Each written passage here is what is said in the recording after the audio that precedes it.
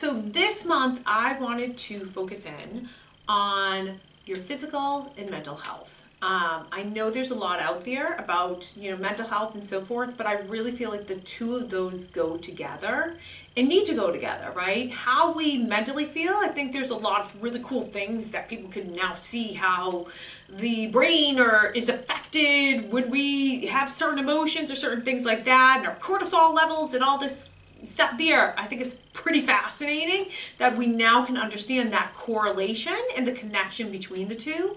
Um, so I think it's really important that we not only focus in on how we mentally feel, and I think as artists we take on so much. We're just like, if you're watching this, you probably, you know, we can get vulnerable and emotional. And that's like the beautiful thing about being a creator. We're able to encompass those emotions and then put it out there for the world to feel. And hopefully, I always say for myself, it's like be able to take that emotion in, feel it, put it down, get it out there so that other people can experience that. So they can also form, find some form of relief right? That can be their outlet for relief. But it's a big responsibility to open yourself up to that um, on, a, on a pretty consistent basis. So, to go back to it, I think that it's really important that we're not only mentally taking care of ourselves, but physically.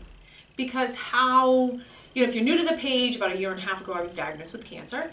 And that was a big wake up call for me. It was like, oh my gosh, like, wow, me? Huh? But when I look back, I was handling and juggling so many things that not only was there some stressors happening, but physically, like because of having such ambitious goals, which many artists have, um, I wasn't taking care of myself fully physically. And that obviously came you know, came to a crashing point where I had to really confront it. So I want to go over some tips and some strategies that have been really helpful for me um, and have been um, helpful as I've gone along this journey of recovery and what I found through that physically and mentally. Um, some things that we can be able to do to keep ourselves because at the end of the day, that's what's important, right? We want to hit these goals, we want to reach them, but if we are not in a good spot, those goals are just going to become um, a side plate right? And if we really want to achieve them, we need to find a good balance where we aren't burning ourselves out to the point on a continual basis that you get faced with some things that are not going to so easily go away. So,